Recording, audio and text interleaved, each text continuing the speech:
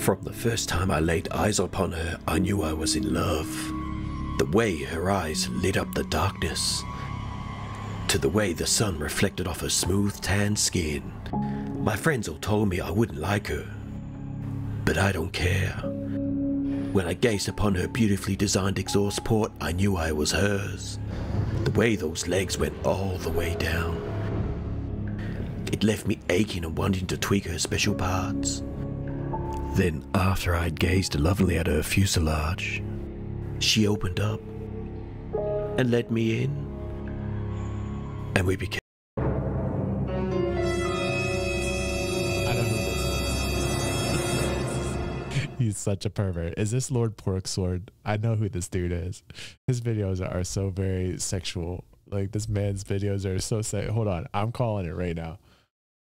Lord Porksword. It is, in fact, Lord Porksword, and I am subscribed to this gentleman. He's twisted. All right, he is a twisted gentleman. Came a match made in heaven.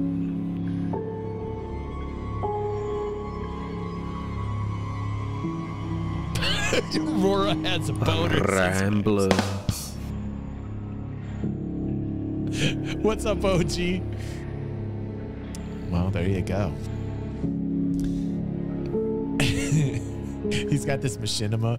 We should watch it sometimes. It's called Silky Lips. I've watched a couple episodes of it. I think we might even have a couple on the channel, but they are weird and twisted. And, and there he is, Lord Porksword in all his glory, putting that sexual innuendo out into the air, man.